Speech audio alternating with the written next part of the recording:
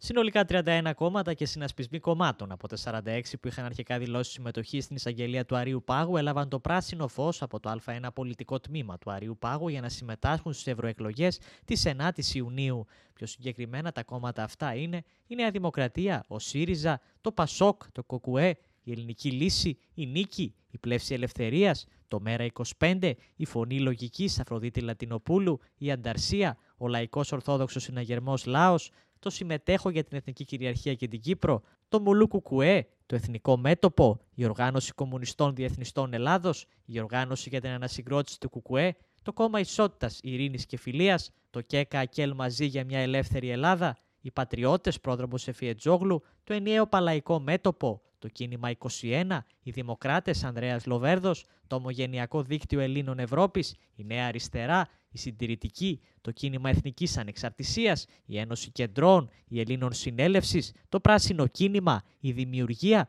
και ο κόσμος. Αντίθετα, υπήρχαν και κόμματα τα οποία κόπηκαν από τον Άριο Πάγο, μεταξύ αυτών και το κόμμα των Σπαρτιατών. Πιο συγκεκριμένα, Αυτά που παραμένουν εκτός εκλογικής αναμέτρησης είναι οι Σπαρτιάτες, οι οικολόγοι Πράσινη Πράσινη Ενότητα, το όραμα αναγέννησης Ελλάδος, το κίνημα Φτωχών Ελλάδος, το πατριωτικό τόξο, η κάθαρση Νίκος Αντωνιάδης, η πράσινη οικολογία, η Ελλάδα Εμείς, η Βόρεια Λέγκα Κράμα, οι Έλληνες Δημήτριος Μιχάκης, η Ελεύθερη Πατρίδα, ο Γιώργος Καραμπέλιας κίνημα Άρδιν, η αγωνιστική αφύπνιση Σπυρίδων Παγιάτης, η Ελλήνο Νέα Αρχή και τα παιδιά της Ελλάδος. Η έρευνα που έκανε η εισαγγελία του Αριουπάγου ε, κατέληξε σε ένα πόρισμα που άσκησε ποινικές διώξεις σε 11 ε, βουλευτές των Σπαρτιατών για εξαπάτηση εκλογέων, γιατί υποτίθεται εμφανίζονταν με αρχηγό τον κύριο Στίγκα, ενώ πραγματικός αρχηγός με βάση τον, ε, τον νόμο που ψήφισε η κυβέρνηση ήταν ο κύριος Καστιγιάρης. Mm. Βεβαίως, το υπόμνημα που κατέθεσε ο Πρωθυπουργός ε, στον Άριο Πάγο για τον αποκλεισμό των Σπαρτιατών λέει ότι ο κύριος Καστιγιάρης έκανε ανοιχτά προεκλογική εκστρατεία υπέρ των Σπαρτιατών από την προεκλογική περίοδο του 2023 και αυτό δεν, δεν, δεν ξέρω αν βρίσκεται σε σύγκρουση με το συμπέρασμα του Αρίου Πάγου, αλλά εν πάση περιπτώσει αυτά, αυτά λέει το ένα κείμενο, αυτά λέει το άλλο. Ένα το κρατούμενο. Δεύτερο κρατούμενο. Αυτή η έρευνα διαβιβάζεται, το πόρισμα αυτής της έρευνας δηλαδή που έχει ασκηθεί δίωξη για πλημέλημα στους Σπαρτιάτες για την εξαπάτηση εκλογέων, ε, επειδή απέκριταν ποιος είναι ο πραγματικός τους αρχηγός, διαβιβάστηκε στο εκλογοδικείο το οποίο συνεδριάζει σήμερα. Mm. Και το οποίο έχει να αποφασίσει για δύο ζητήματα. Το πρώτο είναι αν θα επιτρέψει την κάθοδο των Σπαρτιατών στις ευρωεκλογές, υπό την έννοια ότι αυτή τη φορά ξέρει το εκλογοδικείο ε, ότι ο πραγματικός του αρχηγός είναι, είναι ο κ. Καστιδιάρης. Ναι, ναι.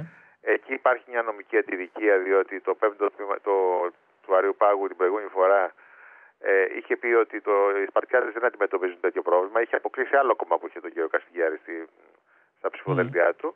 Ω επικεφαλής τότε. Ναι, αν θυμάμαι καλά, με το κόμμα ναι, ναι. Έλληνες ήταν τότε. Ναι, δεν μπορεί να ήταν αρχηγός σε δύο, δηλαδή να, να ήταν αρχηγός και στους Έλληνες και στους Παρτιάτες. Μπράβο, σωστά. Υπάρχει δηλαδή και η αντίθετη άποψη σε αυτό. Mm.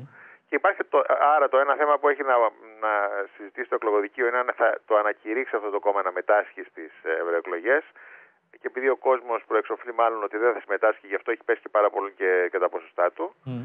Και το δεύτερο ζήτημα είναι, ε, το οποίο είναι κορυφαίο, αν θα εκπέσουν με βάση και τη δίωξη που έχει διαβιβάσει η εισαγγελία του Αριουπάγου στην, ε, στο εκλογοδικείο για να συνεκτιμηθεί από το αξίωμά τους οι 12 και ο κύριος Τίκα, κατά τη γνώμη μου, βουλευτές των ε, Σπαρτιατών. Ε, εκεί, αν συμβεί αυτό, κατά τη γνώμη μου, κατά την ταπεινή μου άποψη, ανεξαρτήτως της απόψεως που έχει ο καθένας για, το, για το κόμμα αυτό, ναι. άβυσος μας χωρίζει, τουλάχιστον εμένα προσωπικά, mm. και είστε ένα ζήτημα εάν τα δικαστήρια μπορούν να καταργούν τη λαϊκή ετοιμιγορία. Την ίδια ώρα συνεχίζεται η προεκλογική δραστηριότητα των υποψηφίων Ευρωβουλευτών με συζήτηση να πραγματοποιείται στην εκπομπή Εξελίξεις με τον Γιάννη Χατζεμανουήλ το βράδυ της Τετάρτης, αρχικά με τις υποψήφιες Βούλα Πατουλίδου από τη Νέα Δημοκρατία και Άννα Βερούλη από το Πασόκ να αναφέρονται στην πολιτική ατζέντα αλλά και στα επιτεύγματά τους στον αθλητισμό και τους υποψήφιους Ευρωβουλευτές Γιώργο Μωρούτη από τη Νέα Δημοκρατία, και Κώστα Τσουκαλά από το Πασόκ να αναφέρονται στην μη εμπλοκή των Σπαρτιατών στις ευρωεκλογές αλλά και το πρόσφατο επεισόδιο στην Βουλή μεταξύ δύο βουλευτών